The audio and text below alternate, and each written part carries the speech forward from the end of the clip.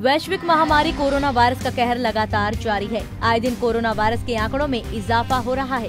पिथौरागढ़ में भी कोरोना के मामले लगातार सामने आ रहे हैं, जिससे स्वास्थ्य विभाग में हड़कंप मचा हुआ है। वहीं जनपद में बनाए गए क्वारंटीन सेंटर अयाशी का अड्डा बने हुए हैं। बेखौफ होकर इन सेंटरों में शराब पहुंचाई जा रही है और इन सेंटरों में नियम कानूनों की खुलेआम धजिया उड़ाई जा रही है। आइए आप भी देखिए इस वीडियो को।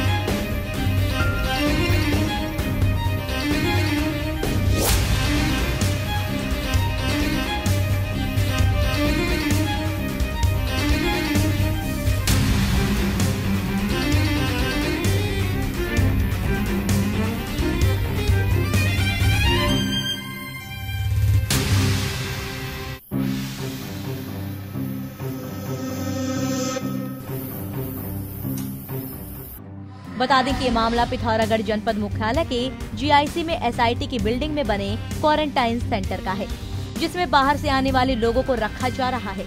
लेकिन इसमें रह रहे लोग बेखौफ होकर खिड़की के सहारे बाहर से शराब मंगा रहे हैं और जिला प्रशासन और पुलिस प्रशासन इस बात से अनजान है। पंजाब केसरी टीवी के लिए पिथौरागढ़ से यशवंत महर की रिपोर्ट।